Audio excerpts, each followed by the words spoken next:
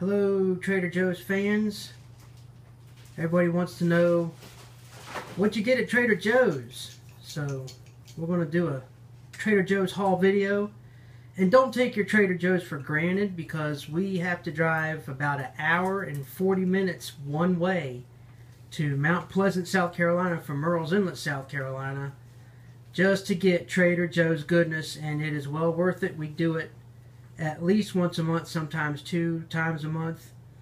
So here goes Trader Joe's haul for today.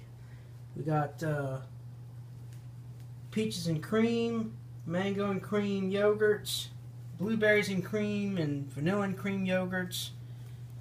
Got the chocolate covered potato chips, always a favorite. I don't know why we got one of those, but it's alright. We'll just make the deal, make the best of that. Got the shrimp nuggets. Had to get two of those because they did not have my favorite coconut shrimp for some reason again.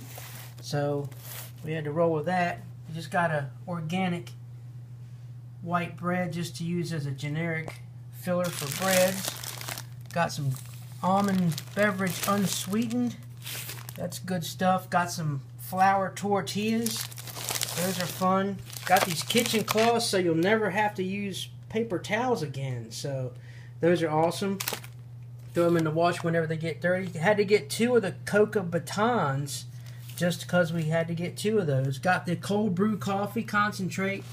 Going to see how that works out for nice cold summertime beverages. Couldn't forget Joe, Joe, our favorite dog. He likes his beef liver and chicken jerky sticks. He will take a Walmart stick, or I shouldn't say Walmart, he will take another uh, stick and spit it out if it's not Trader Joe's goodness. So even he is spoiled by Trader Joe's. Got to get the granola bars. Love those. The nutty chocolate ones. Had to just get one of those and roll with that. Got two of the coconut beverage non-dairy unsweetened. That's good stuff. Got two of the raw almonds. Those are such a good deal, and they're very good. Got the lemon ginger echinacea big giant drink. That's good stuff. Got the hot dogs. Those are good. There's eight in there for a very good price, and it's awesome. Got organic Tuscan kale. $1.99. and I don't know if we should say the prices on there, but they were $1.99. And the baby spinach, those are awesome to have. Got skipjack tuna. Got that to throw on some tuna melts. Got some raw shelled hemp seeds. Just the hemp hearts for all you fans out there Flax seed. Those are good for smoothies and stuff. Finally had to jump for joy. Went there three times. Did not have the plantain chips. Went to Asheville, North Carolina. Did not have the plantain chips. So got two of those. Jumped for rejoicing in the chip aisle.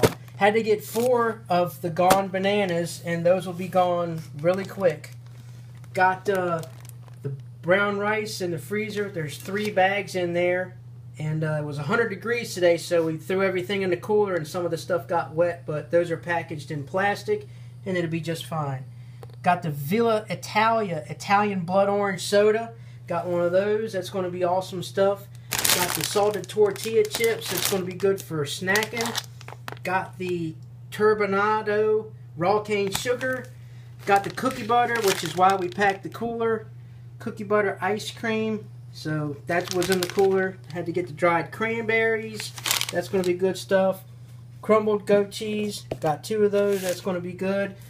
Got the chocolatey Cat's cookies, two ninety nine. I don't know if I should say how much they were, but at that price, just had to. And the organic corn chip dippers. There was three bags left on the shelf after I took these two, so I don't know if they're going to have another shortage of the corn or the organic stuff like they did a little while back where you couldn't get those for quite a while.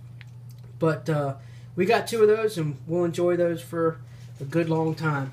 So coming up on just under five minutes, that's our haul. We spent 135.05 for all this Trader Joe's goodness.